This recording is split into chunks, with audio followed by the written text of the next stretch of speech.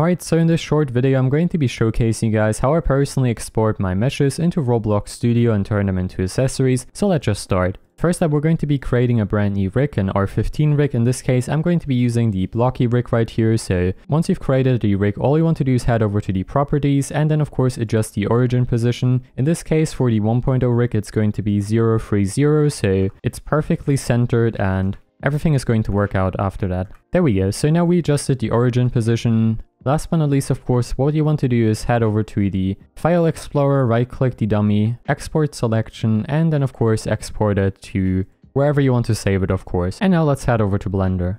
Alright, so now we're on Blender of course. The first thing you want to do is import the character we just exported from Roblox Studio. So let's just do that really quickly. And there we go, we now imported the character. So let's just move our item out of the way and let's say it's going to be located somewhere else. Let's say it's like located um, right over here. It's rotated by, I don't know, 75 degrees. And now of course we want to adjust it. So First things first, what you want to do with the character, we want to turn off the back face right here, just so we can see which direction it's facing. Next up, what you want to do, it's very important, you want to rotate it by 180 degrees. For some bizarre reason, it's uh, rotated to the wrong direction in Blender, so you just want to switch it around, and now it's facing the correct way. Next up, of course, what you want to do is adjust your accessory. First up, if you have some very bizarre rotation values, you might be able to reset them right here, so let's just do that really quickly. There we go, now it's facing definitely the correct way. One way to instantly align it it perfectly right here is um, just select set origin, set origin to 3D cursor, then of course next up set origin geometry to origin. And last but not least what we have to do is actually move up the item and then adjust it so it's matching perfectly with the rig right here. There we go. Let's move it a little bit forward so it's no longer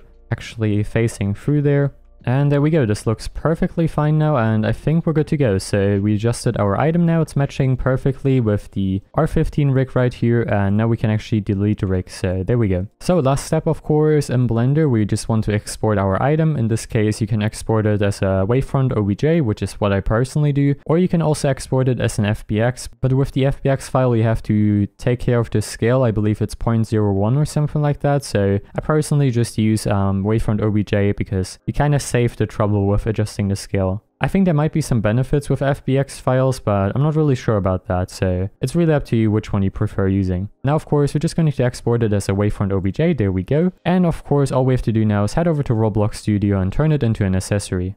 Alright, so we're back in Roblox Studio. First things first, you want to use once again one of the pre-installed plugins with Roblox Studio, the mesh importer right here. And then of course, you just want to import your accessory, which you just exported from Blender. There we go, let's just hit import and it's just going to load in. Now, why do we make the extra steps with the character is very simple. You can now instantly snap it to the character if the character is of course centered. So as you can see right here, the character is at 030 in the origin position. So what you want to do is select your accessory, then of course type in the origin position 0, 0, 0, and then it's going to snap into place. So this is really simple to be honest. Next up of course you want to use one of the plugins which you can find on the creator marketplace, the asset creator right here. You want to select accessory, select your item, select the character, select what type of accessory it is, select classic, click next, and then of course you already finished creating your accessory. So now last but not least we're going to get a brand new dummy right here, take your accessory um, that we just created and put it into the brand new dummy right here. Now of course last but not least we can actually add the texture. Um, so let's head over to the mesh right here here. I've already uploaded it, so we can just use the